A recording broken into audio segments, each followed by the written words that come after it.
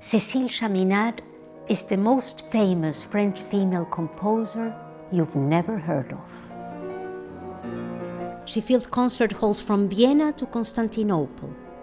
She played for Queen Victoria at Windsor Castle and President Teddy Roosevelt at the White House. She had to contend with the prevailing attitudes of the day about women composers. After she played in Carnegie Hall, one critic even wrote, While women may someday vote, they will never learn to compose anything worthwhile. People loved her. Cécile Chaminade was a huge commercial success. She even advertised soap and chocolate. In 1913, she was the first French woman composer to receive the Légion d'honneur. And then she disappeared.